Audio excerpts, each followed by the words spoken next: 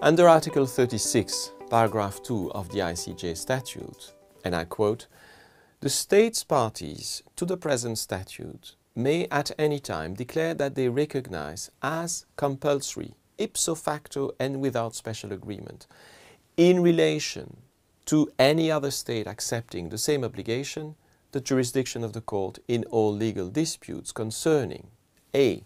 the interpretation of a treaty, b. any question of international law, c. the existence of any fact which, if established, would constitute a breach of an international obligation, and d. the nature or extent of the reparation to be made for the breach of an international obligation. End of quote. The declarations by which states recognize as compulsory the jurisdiction of the court are called optional clauses. Under paragraph 4 of Article 36, optional clauses must be deposited with the Secretary General of the United Nations, while, de while declarations made under the PCIJ statute that are still in force are deemed under paragraph 5 of Article 6, 36 uh, are deemed to be optional clauses for the purpose of the ICJ. Optional clauses are a specific feature of the International Court of Justice and previously of the Permanent Court of International Justice. They represent a compromise between a system of compulsory jurisdiction for all states bound by the statute and a system in which being party to the statute is not sufficient to establish a system of compulsory jurisdiction and where the consent of the disputing states is needed to confer jurisdiction to the court. Under the optional clause mechanism, states are able to accept as compulsory and for themselves the jurisdiction of the court. And such acceptance is made unilaterally by a declaration.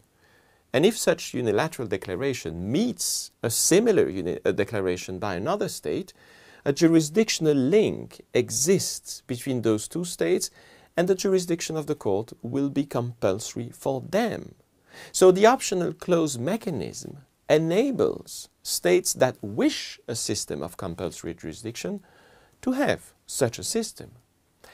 In a case between Spain and Canada about the arrest on the high seas of a fishing vessel flying the flag of Spain, the court elaborated on the nature of optional clauses and said this, I quote, a declaration of, acceptance of, acceptance of the ju compulsory jurisdiction of the court, whether there are specified limits set to that acceptance or not, is a unilateral act of state sovereignty. At the same time, it establishes a consensual bond and the potential for a jurisdictional link with the other states which have made declarations pursuant to Article 36, paragraph 2 of the statute, and makes a standing offer to the other state party to the statute which have not yet deposited a declaration of acceptance. End of quote.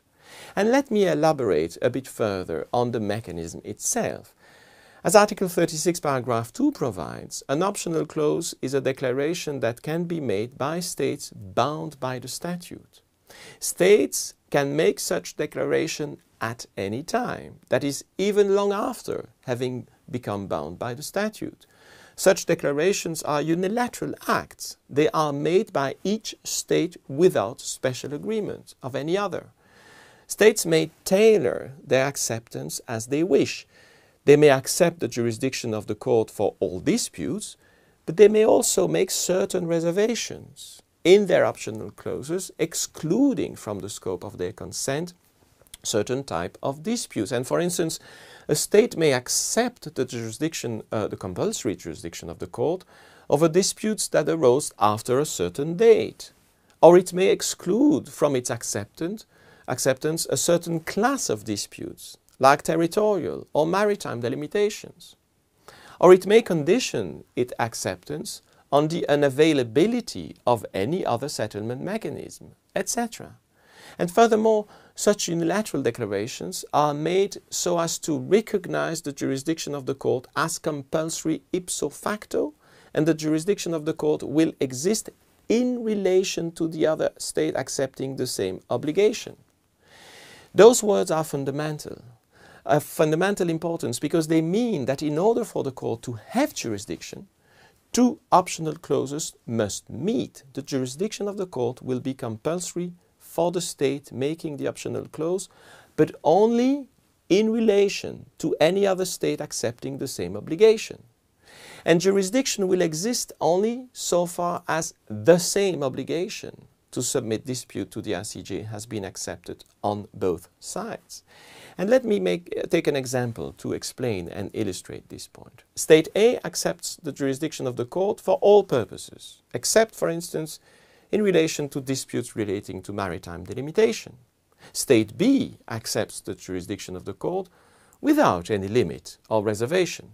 Now, State A and B are adjacent states and a dispute arises about the maritime delimitation between them. Is State B entitled to bring a case against State A at the ICJ about that maritime delimitation dispute?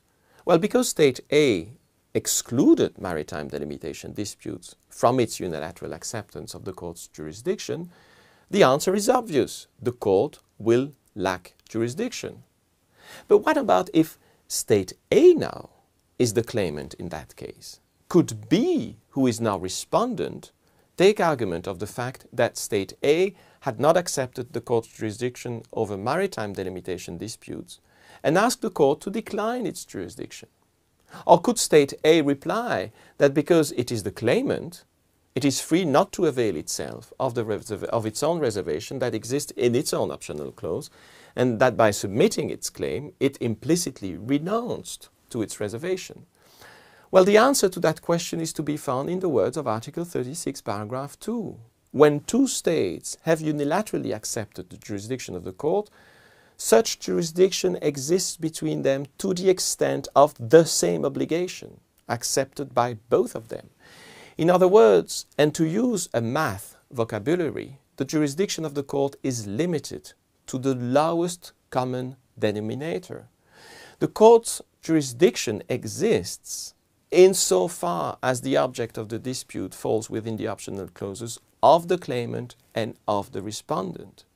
So as much as the respondent may rely on its own reservations and exclusions inserted, inserted in its own optional clause, it can also rely on those of the claimant because the jurisdiction of the court is reduced to the same obligation accepted by both parties. States are thus free to limit their unilateral acceptance of the compulsory jurisdiction of the court, that is to insert reservations in their optional clauses. And the effect of such reservations will be reciprocal in the sense that the subject matter of the dispute will have to fall within the acceptance of the court jurisdiction as expressed by both disputing states.